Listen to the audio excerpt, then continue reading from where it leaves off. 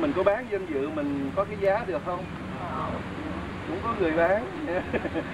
À, nhưng mà cái giá nó cao lắm, thấy không? Cho nên khi mà các em nhỏ của mình đó mà khi nó nói tôi xin lấy danh dự đó, thì nó cảm thấy anh diện bao giờ cũng vậy, tôi xin lấy danh dự hứa để mà giữ luật lãnh đạo. Cho nên bao giờ các em cho các em hứa thì phải có cái chữ danh dự nhớ không? Thì cái chữ danh dự tức là cái người mà cảnh sát mà nằm ở trong ở trong tim, trong lòng của mỗi em hướng đạo sinh, nó sẽ nó sẽ gìn giữ. Yeah. cho nên phải có cái danh dự. Và cái điểm thứ hai của lời hứa là có gì? Cố cố gắng hết. Đừng có bắt các em nó hứa là tôi hứa sẽ làm thế này rồi nó bao giờ cũng hứa cố gắng hết sức. Nó hết sức của nó thôi. Còn biết rằng mấy em nhỏ nó chỉ có thể tới cái mức nào đó thôi. Nó cố gắng hết sức. Hai cái điểm chấm khi các em cho các em mà nó hứa đó, là phải có danh dự và cố gắng hết sức. Đó. và cái thứ hai nữa là bao giờ cũng lời hứa trước và luật sau. Có bộ luật lãnh đạo lại gồm có mấy chữ? Năm chữ nhân để nghĩa, trí, định bài học chỉ có chừng đó thôi. Dạ. Bởi vậy cho nên, người Việt Nam của chúng ta đó, nói chung là đa số người Việt Nam chúng ta đều có cái đạo gọi là cái đạo của ông bà tổ tiên để lại là cái đạo trời trời. Nên đó là cái đạo đạo làm người. Thì trong cái đạo làm người nó nó đều có bao gồm những cái điểm của nhân lễ nghĩa trí tín cả. Khi chúng ta dạy cho các em nó giữ dân lễ. Đất thì nó sẽ bị diệt vong. Thế thôi. Đường lên chung một đường lên đến nơi nguồn thần. Nguồn thần là đây sức sống vô biên. Sống vô biên là sống cùng tạo hình như là trưởng minh lố giờ phải không dạ. Bây giờ bây giờ trưởng minh xin một phút hai năm phút thôi, bởi vì đang có các em ngồi đây và có cái đèn ở đây nó chiếu cho nó rõ. Bởi vì các em học ở đây, cái này nó sẽ thành trên cái video. Rồi video sẽ lên trên trên web page và cả ngàn cả thế giới sẽ xem, sẽ thấy mấy em hết. Và sau ngày 10 tây đó sẽ em sẽ mở web page em sẽ thấy các em hết. Thấy trưởng minh là những gì mà các em học nói lên nữa có một cái là là trưởng minh muốn lợi dụng lúc này đặng ôn lại cho các em cái cách nhảy lửa là bởi vì các em nhảy lửa nó trật nhiều lắm rồi. Nghe không? Cho nên trưởng minh có một xin một phút thôi. Thì có đèn sẵn. Cái khi mà cái nhảy lửa đó là cái ăn thua cái giai đoạn đầu tiên hết đó là mấy em sai. Thật ra mình làm cho nó đúng hơn Để trưởng minh xin phép. Em nào có ba em là nhảy lửa rồi đưa tay coi. Đã từng nhảy lửa đưa tay coi. Đó, cũng đông thế không? Các em nào dám bảo nhiễm mình nhảy đúng không? Thấy không? Đó thì khi mình ra mình đứng cái nhảy lửa mình đứng như thế này nhá.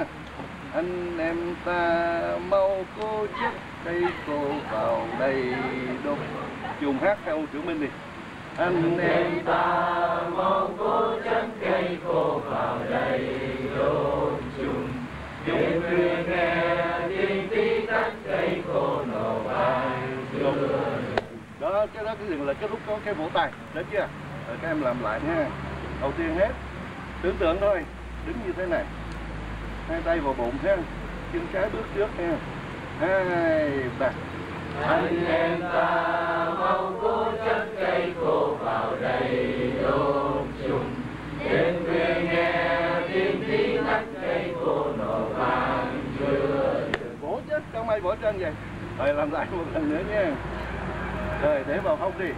Hai ba anh em ta mong cố chất cây khô vào đầy đốt chung đêm khuya nghe tiếng tí tách cây khô nổ vang chưa từ đây nó rất là khó được không nè.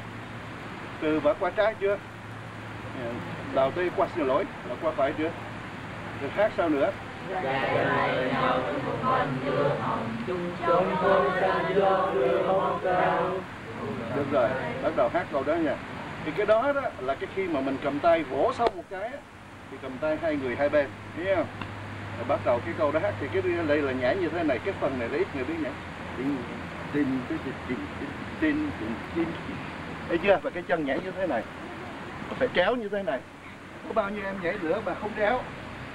Thấy ừ. không? Phải kéo nhé rồi bắt đầu khi vỗ cái vỗ nha. À, rồi vỗ rồi hát. Hát câu kia đây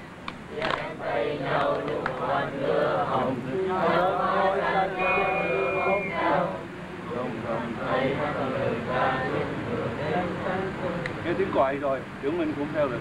Nói tóm lại là anh nhớ là khi nhảy lửa là phải có cái chân nhảy chéo qua và trưởng đô là một người nhảy lửa rất là giỏi. Trưởng đô sẽ dạy cho các em nhảy lửa cho nó đúng. Trưởng mình muốn lợi dụng cái lúc này, có đèn sáng để mà chúng ta nhảy cho nó đúng. Vậy thôi. Thì à, à, cái bài của chúng ta học là về nhân lễ nghĩa và trí tín để dạy cho các em cái điều đó vâng à,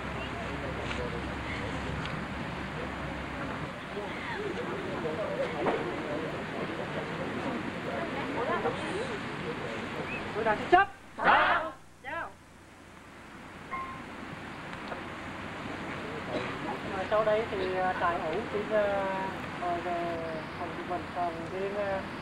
tiếng lên hoài phải hiệp lực, phải bên lòng bền chí dày công.